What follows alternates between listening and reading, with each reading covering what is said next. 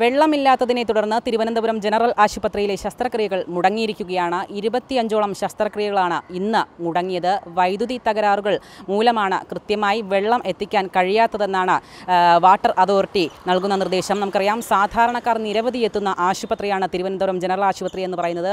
പ്രതിദിനം തന്നെ ആയിര ആയിരത്തിലധികം ആളുകൾ ഈ ആശുപത്രിയെ സമീപിക്കുന്നുണ്ട്. ചികിത്സയ്ക്കും മറ്റുമായിട്ടാണ്. ഈ ഒരു ആശുപത്രിയിലാണ് ഇന്ന് ഈ ഒരു വെള്ളം എത്താത്തതിനെ തുടർന്ന് ഇരുപത്തിയഞ്ചോളം ശസ്ത്രക്രിയകൾ മുടങ്ങിയിരിക്കുന്നത്. ഇതിൽ ആശുപത്രി അധികൃതർ തന്നെ ഈ വെള്ളം മുട ലഭ്യമാകാത്തതിനെ തുടർന്ന് ഇന്ന് നടത്തേണ്ട നിശ്ചയിച്ചിട്ടുണ്ടായിരുന്ന ഇരുപത്തിയഞ്ചോളം ശസ്ത്രക്രിയകൾ മുടങ്ങിയിട്ടുണ്ട് എന്ന് വ്യക്തമാക്കുകയും ചെയ്തിട്ടുണ്ടായിരുന്നു. ഇതിൽ വാട്ടർ അതോറിറ്റിയും കൃത്യമായിട്ടുള്ള അവരുടെ നടപടികൾ സ്വീകരിച്ചിട്ടുണ്ടെന്നാണ് വ്യക്ത- വ്യക്തമാക്കുന്നത്. ഇന്ന് രാവിലെ മുതലാണ് ഈ വെള്ളം വെള്ളത്തിനൊരു തടസ്സം നേരിട്ടത്. കഴിഞ്ഞ ദിവസങ്ങളിലൊക്കെ തന്നെയും ഈ രീതിയിലുള്ള സമാനമായ സാഹചര്യം ആശുപത്രിയിൽ ഉണ്ടെന്ന് ഇവിടെ എത്തുന്ന ആളുകൾ തന്നെ വ്യക്തമാക്കുന്നുണ്ട്. പേട്ട അതുപോലെ വഞ്ചിയൂർ ജനറൽ ആശുപത്രി ഈ സ്ഥലങ്ങളിലൊക്കെ തന്നെയും ജലവിതരണത്തിന് തടസ്സം നേരിടുമെന്ന് കഴിഞ്ഞ ദിവസങ്ങളിൽ ഈ വാട്ടർ അതോറിറ്റി വ്യക്തമാക്കിയിരുന്നു. എന്നാൽ അതിന് പിന്നാലെയാണ് ഇരുപത്തിയഞ്ചോളം ശസ്ത്രക്രിയകൾ ആശുപത്രിയിൽ മുടങ്ങിയിരിക്കുന്നത്. ഇന്ന് രാവിലെ എത്തിയ രോഗികളൊക്കെ തന്നെയും പ്രതിസന്ധിയിലാകുന്ന സാഹചര്യമായിരുന്നു ഇവിടെ ഉണ്ടായിരുന്നത്. നിലവിൽ ടാങ്കറുകളിൽ വെള്ളം വെള്ളം എത്തിച്ചുകൊണ്ടുള്ള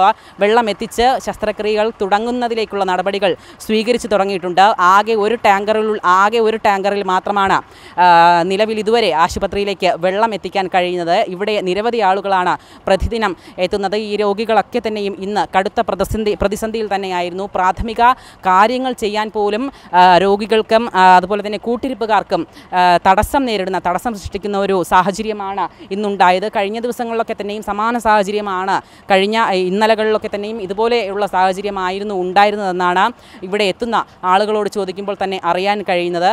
നിലവിൽ ഇരുപത്തിയഞ്ചോളം ശസ്ത്രക്രിയകളാണ് തിരുവനന്തപുരം മെഡി തിരുവനന്തപുരം ജനറൽ ആശുപത്രിയിൽ ഇന്ന് നടക്കാൻ നടത്താൻ നിശ്ചയിച്ചിട്ടുണ്ടായിരുന്നത്. എന്നാൽ വെള്ളം ഇല്ലാത്തതിനെ തുടർന്ന് ഈ ശസ്ത്രക്രിയകളൊക്കെ കാലതാമസം എടുക്കുകയും സമയം കൃത്യമായി നിശ്ചയിച്ച പ്രകാരം നടത്താൻ കഴിഞ്ഞതുമില്ല എന്നാണ് അറിയാൻ കഴിയുന്നത്. എന്നാൽ ഒരു ടാങ്കർ വെള്ളം എത്തിച്ചതോടെ ശസ്ത്രക്രിയകൾ ആരംഭിച്ചുവെന്നാണ് ആശുപത്രി അധികൃതർ നൽകുന്ന വിവരം.